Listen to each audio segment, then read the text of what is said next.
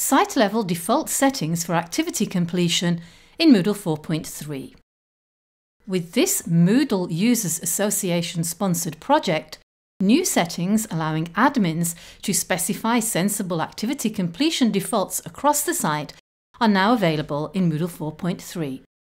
This involves a new site page for default activity completion conditions, and progressive disclosure of activity completion settings.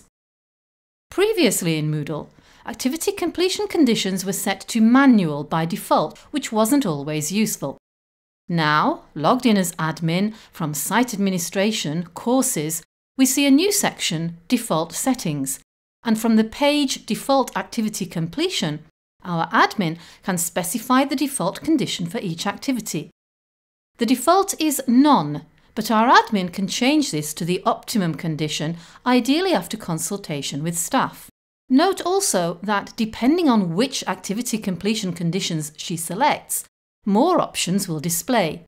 When she changes the condition for assignment from None to Add Requirements, three more options display. Again, when she selects Receive a grade, the option to select any grade or a passing grade appears. When our admin has saved the default conditions, they will be available for teachers in new courses. When teacher Mr Wilson sets up a new assignment in his course, he already has the default passing grade setting which the admin had specified.